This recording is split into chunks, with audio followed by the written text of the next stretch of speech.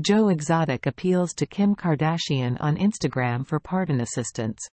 In a surprising turn of events, Joe Exotic, widely recognized as the Tiger King, took to Instagram to seek help from Kim Kardashian in obtaining a pardon. Leaving a comment on a photo featuring Kourtney Kardashian and her newborn son, Exotic expressed his plea. Ah cute, also please have your sister help me get out of this hellhole.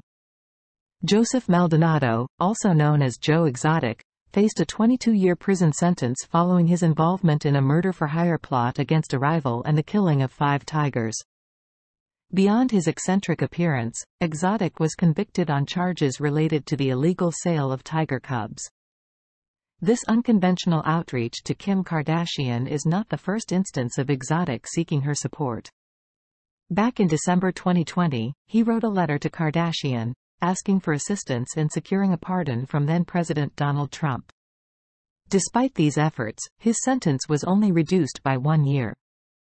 Kim Kardashian, known for her active involvement in advocating for prison reform, has not responded to Exotic's recent plea left on Kourtney Kardashian's Instagram post.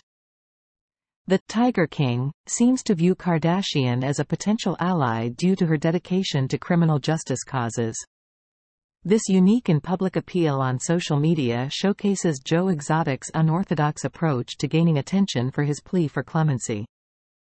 As he continues to serve his sentence, the unpredictability of his strategies remains a notable aspect of his quest for freedom. Thank you for watching. We appreciate your support and hope you enjoyed the video. Don't forget to subscribe to our channel to stay updated with new content.